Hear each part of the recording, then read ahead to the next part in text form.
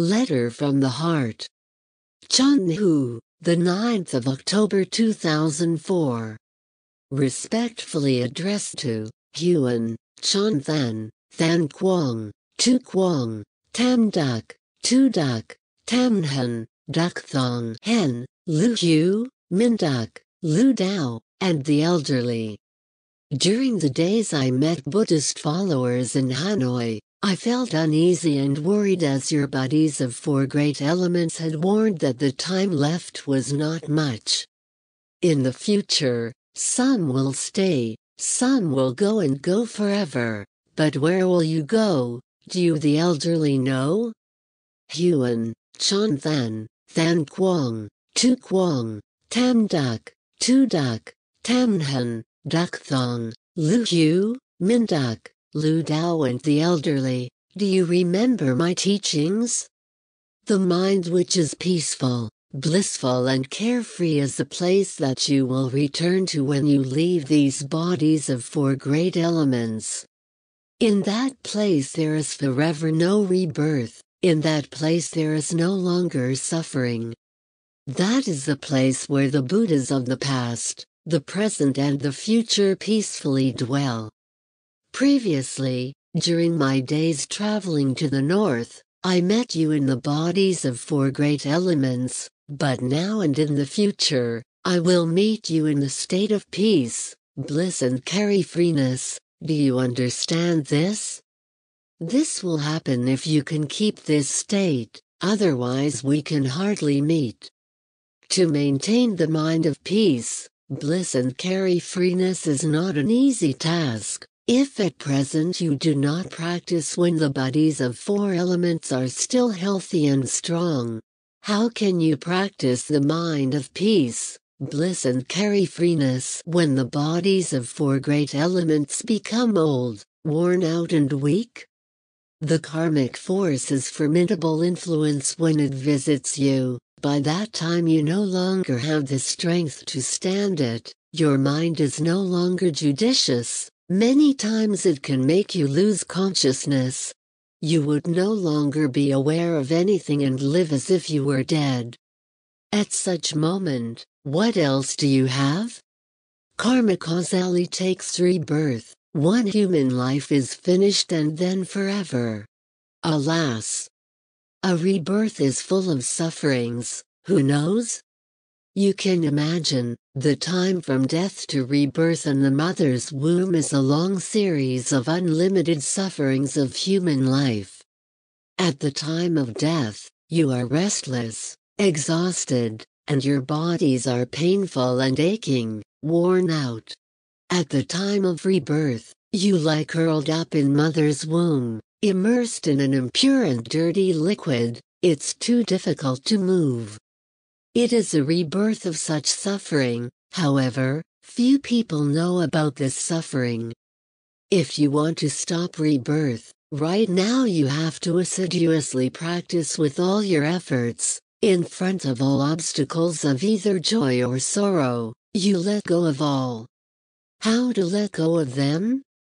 You let go of them with the method to guide the mind, Follow the method of creating thoughts to lead the mind to the state of liberation in order to guide the mind to let go of things. The mind is peaceful, blissful and carefree. Worldly things are the things of life and death, the things of sufferings. I have to finish them immediately. After creating such thought, you should continue to create thoughts to lead the mind to the place of no suffering. If the mind is subjected to obstacles, you should have this thought. With peaceful and tranquil mind operation, I know I'm breathing in. With peaceful and tranquil mind operation, I know I'm breathing out. Then in silence you breathe in and out five times and repeat the thought. If your body's is in sickness, you should have this thought. With peaceful and tranquil body operation, I know I'm breathing in. With peaceful and tranquil body operation, I know I'm breathing out. Then in silence you breathe in and out five times and repeat the thought. The mind of peace, bliss and carefreeness is the only method to defeat all karmic obstacles besieging you. Tu Quang, Tu Duck, Tamhan, Duck Thong and the elderly, you should remember to assiduously practice regardless of good health or illness. You should not waste any time, even a minute, a second or a moment, because your lifetime left is very precious. A piece of time and a piece of gold. A piece of gold is easy to find. A piece of time lost is impossible to retrieve. You should leave the work to your children and grandchildren, they are all grown up and can shoulder family affairs well. As for you, you should take care of yourselves, light the torch to walk on your own feet, save yourselves, as the time left is too little. The time left is only enough for you to practice to prepare sufficient inner power for yourselves when the enemy of life and death visits you.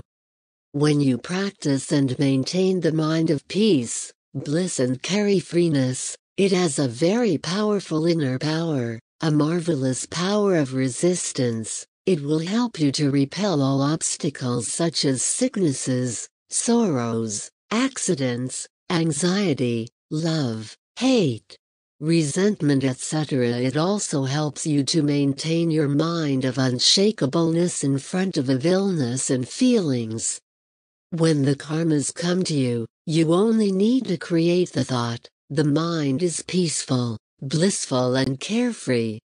All things are impermanent, go away. They are not allowed to stay in my body and mind.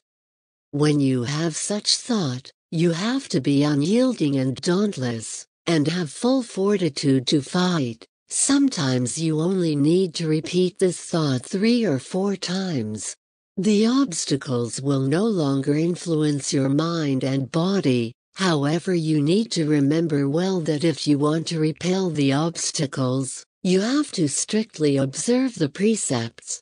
Because the precepts are the goodness, they will transform all your karmic retribution of sufferings of many lives. Together the precepts, you use the method of creating thoughts to lead the mind to the state of liberation as a reinforcement. You will repulse all the obstacles and no of illness can influence your bodies and minds. Before you leave this life, only this method can help you to escape sufferings and put an end to rebirth in the circle of life and death.